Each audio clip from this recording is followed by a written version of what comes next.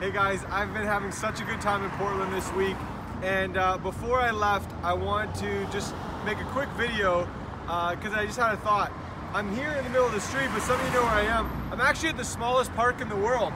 You guys know about Mills End Park? Guinness Book of World Records right here. Right. Smallest park in the world. Some shrubbery. Yeah, right? Here it is, Smallest Portland. park in the world. There it is. It's perfect. Guys, look at that. But do you know what I was thinking? I was thinking about those guys are awesome. I was thinking about how in, in the Bible we see these ideas of how God loves to use ordinary things to make an extraordinary difference. He loves to use ordinary people to make an extraordinary difference around the world.